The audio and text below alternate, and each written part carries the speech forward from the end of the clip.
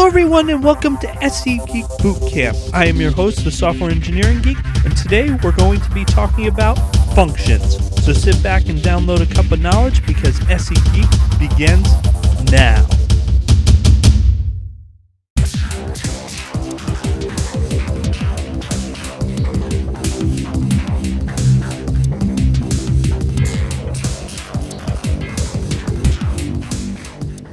So, in this episode, I'm going to talk about functions. Up until this point, uh, most of the code that I've shown you has just been uh, inline calls, uh, print lines. Uh, you know, not not so much on the way of making reusable code, which is one of the places where functions come in.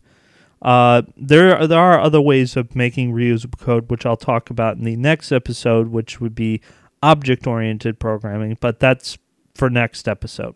So first thing, we're just going to start off with a very simple function. Uh, actually, I have def, um, you know, the keyword we use for variables, same for functions, although I could instead use int here or string or pretty much any variable. And this is what's actually returned from the function. Now, if you wanted to return nothing from a function, you could use uh, the keyword void.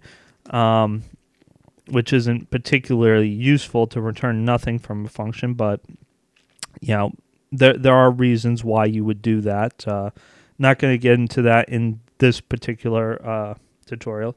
So uh, right here, we're just going to use def for the time being, and then right uh, after that, we have the name of the function. So we're calling increment. And then in parentheses right here, we have parameters that the function takes. Right now we're taking an integer number, uh, but we don't actually even need to specify that here in Groovy. Uh, so we could just say number. And uh, then we have a block statement here, as you can see. And within this, we can put pretty much any code we want uh, in terms of uh, you know, conditional if statements, loop statements, defining variables uh, things of that nature. And I'll talk a little bit later about uh, the idea of scope uh, with with uh, reference to these parameters and things that are defined within a function. But for now, let's let's just take a look at this uh, basic example.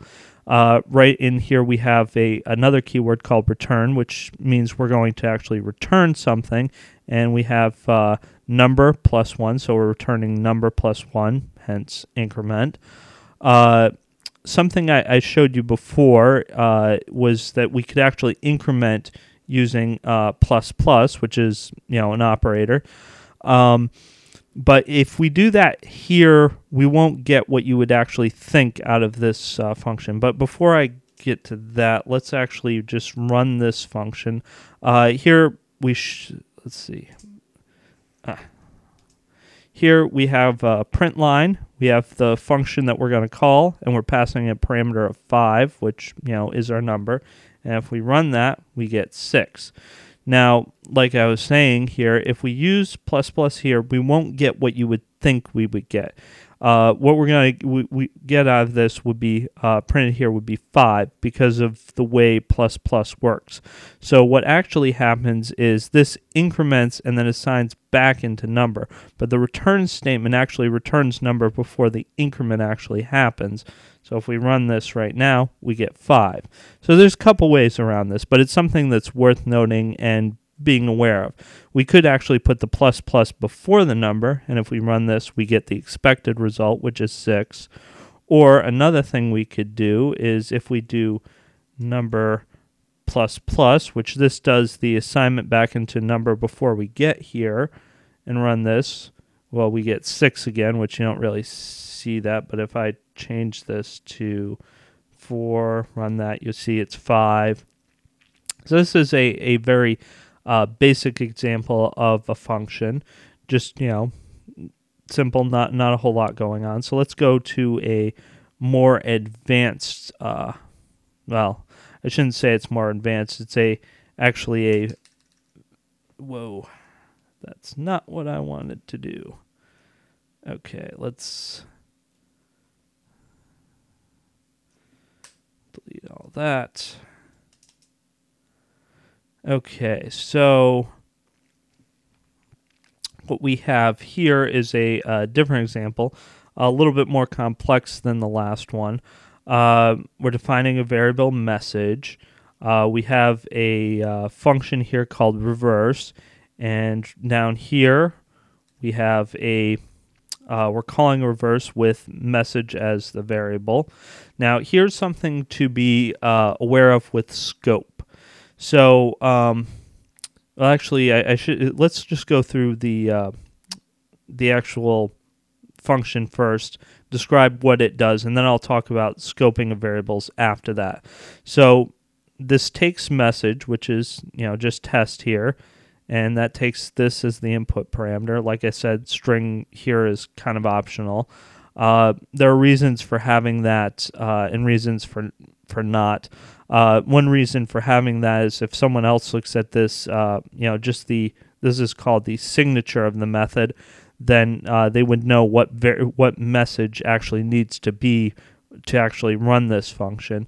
Uh, but you know, if you were u- doing something a little bit nor- more dynamic, where you could take in you know different objects here, uh, then you know you you don't have to actually specify it.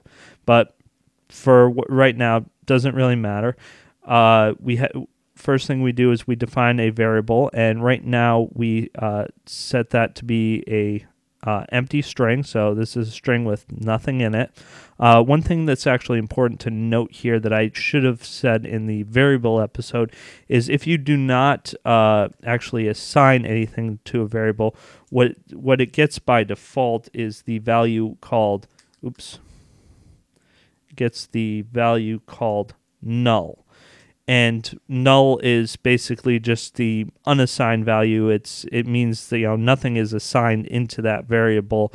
Uh, you can't call anything on null without getting an error. Um, it's something to be you know thoughtful about, and a lot of people make errors where you know they'll define a variable and wonder why they're getting null when they're trying to loop over it or something or access you know run a function on it or something like that.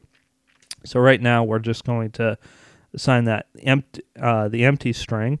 And then we're going to go uh, take message, do dot each, which will actually go over each character in the message.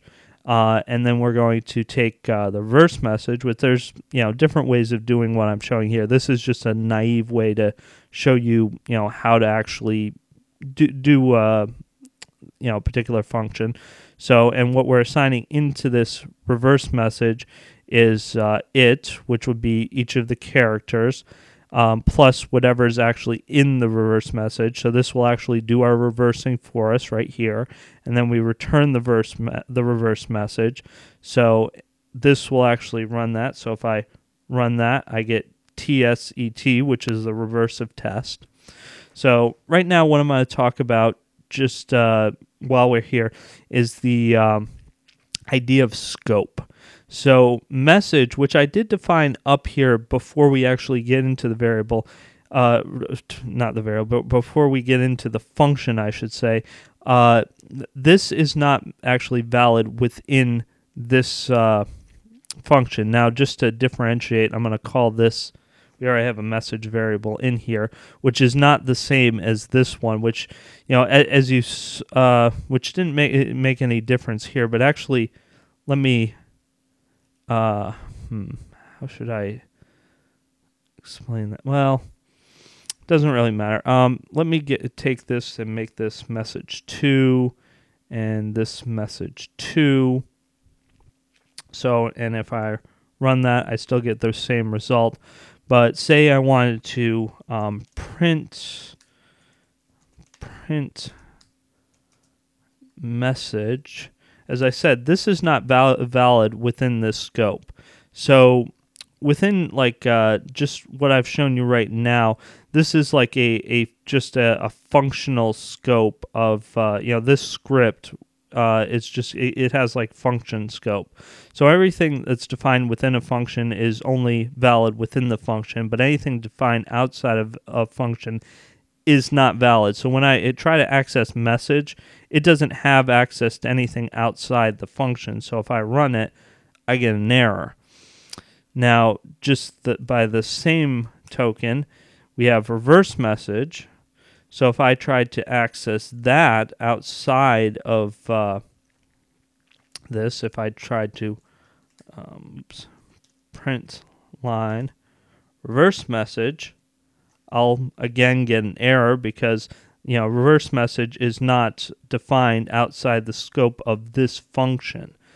So you know that's one thing to keep in mind with you know variable scope is it's usually per function, and actually everything in within a script is kind of like in a function so to speak. It's something that Groovy just gives you uh, by default, whereas in uh, different languages you have to do you know different setup to actually you know and do the initial script uh, depending on what language you're using. Um, but also, I'll talk uh, more about uh, scope a little a little bit more about scope when I talk about object oriented programming in the next episode. But for now, that's this is just you know little example showing you how to reverse uh, a string. You know, just a naive little example. So we're gonna move on to something I hinted at in the last episode, which was recursion. So let's bring this up here. Now, what recursion is is you'll have a function which I just called it you know function here not a great name uh, one thing i should mention about uh, names of functions and variables is uh, try to come up with good names like descriptive names so people have an idea of what your functions and variables are used for and, and what they do so but in any case i have function and when you call uh, call the function with inside of a function, I'm calling, you know, itself. This is what's called recursion. And this actually creates a loop within itself. Now, uh, something I didn't really talk too much about uh, is the fact that, you know, you can have any code within these blocks, including calling other functions or calling the function that you're actually within, which is recursion. So what we're going to do here is we have, you know, the call to function, which is 5. So, you know, that'll be, you know, the number parameter. So we'll co- uh, come in here, be 5. And we have a conditional where, you know, number is less than 10, which 5 is. We'll print, uh, print the number. So we'll print 5. Then we'll call the function again with number plus 1, which would be 6. Come up here and the number is 6. So 6 is less than 10, so we print 6 you know, etc., and you know, uh, so on. And basically, th- so what this call will do is print uh, five through nine, and then you know, out here it will actually return. So what this is called uh, in recursion is called like the base case for recursion. So yeah, the well, so the, well, not actually the base case is usually where you end. Uh, you can flip this around and have like the return be the base case, but this is where we're calling the the function. Um, so basically, let's just run this, and you'll see we get five through nine, as I explained before. So uh, recursion, you, you might wonder, like, why is this useful? Uh, just offhand, there there are uses for this. Um, you know, one p- particular instance that comes off the top of my head that uh, I haven't shown in here is, you know, I, have mentioned, uh, you know, uh, lists before, but there's also like uh, the idea of a tree, which is another uh, data structure. Um, which, if you think about like a, uh, a file, you know, folder files and folders within your uh, operating system, those actually follow a tree-based structure where you can have, you know, folders within folders which have files in them, etc., etc. So if you want to actually, you know, do something that uh, you know goes, uh, like say you want to, uh, you know, delete a you know top-level folder and have everything deleted within it, a good way to do that would be to use recursion uh, because you could you know call the function that would you know delete the the first one and it would actually see what's inside it and you know pass that to itself and you know until it gets to the very end and go you know basically return up. Um, let's see Uh, another thing uh, to just mention in recursion, which is kind of outside the scope of these tutorials, is the idea of tail recursion, which is essentially just a another way of doing a loop. Uh, you know, it's just if, if I set this up with the uh, like the recursive call being the last thing and maybe having like a base case which would be like my base case here is really return uh, you know where, where you don't satisfy this but if i had a conditional which was my base case and i had the function down here it actually starts making this you know function look more like a loop which is called tail recursion and there are you know many examples of that but uh, that that's much more depth than I should go into here. So that's just a, a brief tutorial about functions, which allows you to do code reuse. Um, so next time I'm going to be talking about object-oriented programming, which will be the last uh, episode uh, in this series, and I'll talk to you next time.